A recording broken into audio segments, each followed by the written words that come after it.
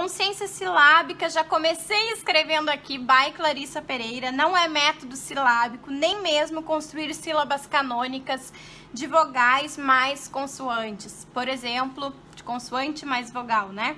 Babebi bobo. Pegar as vogais lá e fazer babebi bobu e fazer fafefi fafu, isso não é consciência silábica.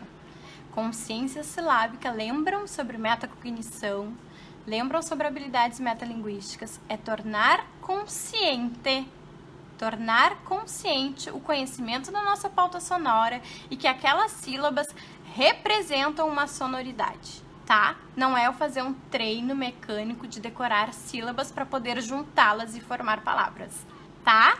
Consciência silábica, então, é uma sensibilidade e, e talvez uma das mais fáceis para as crianças, né? Começa mesmo antes da escrita formal, a criança vai se dando conta, assim, que tem, tem algumas coisinhas que se repetem, enfim, sem entender, sem tornar isso explícito, tá? É um conhecimento implícito. Ah, fazendo uma relação com a psicogênese da língua escrita, a sílaba, né? A Emília Ferreira e a Ana Teberoski colocam que quando uma criança começa a representar uma letra para cada sílaba ou algum símbolo para cada sílaba, ela se deu conta da fonetização da escrita. Ela se deu conta que as palavras, as sílabas, as letras, as sílabas naquele momento, né? Elas estão representando alguma coisa, elas estão representando uma pauta sonora. Então, olha que importante, né? E por que será que é mais fácil, pessoal, as sílabas?